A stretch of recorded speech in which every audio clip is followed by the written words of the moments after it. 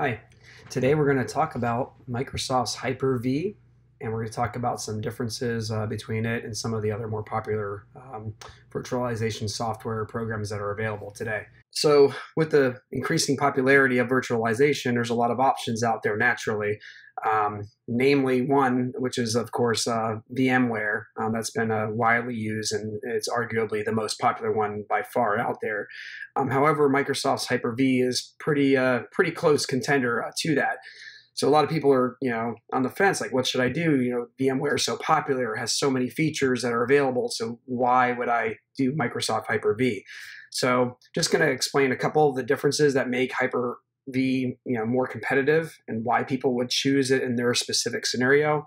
Um, and I'll also explain a couple of the disadvantages, perhaps, uh, with using Microsoft Hyper-V.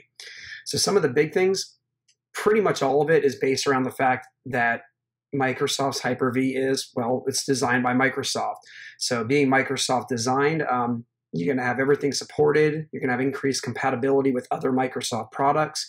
Um, there's going to be a very limited learning curve with most IT professionals that are already comfortable using Microsoft products. And so the design is very consistent. So pretty much an IT professional already knows kind of how to navigate their way around Hyper-V, even if they don't have much virtualization experience. So that's a big win for most businesses.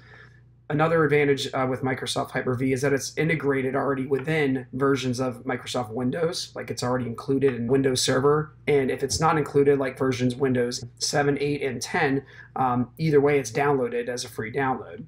Also, another advantage is, is that its security is integrated with Microsoft uh, Windows Active Directory. And um, the performance of Microsoft Hyper-V tends to be very high um, thanks to the fact that it is installed as a tier one uh, bare metal uh, installation. It also has a very low attack surface as far as from a security standpoint. Some of the disadvantages is that um, Microsoft Hyper-V requires um, an operating system to be installed first.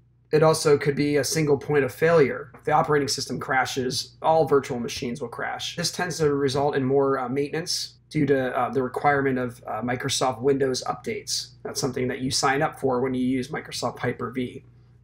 Another disadvantage would be the limited operating system support. Other virtualization products, such as VMware, um, support a very wide range of uh, operating systems, and um, Hyper-V only supports, you know, some versions of Windows and uh, some versions of Linux.